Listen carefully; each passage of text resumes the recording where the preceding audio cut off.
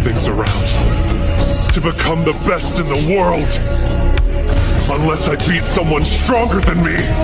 That one.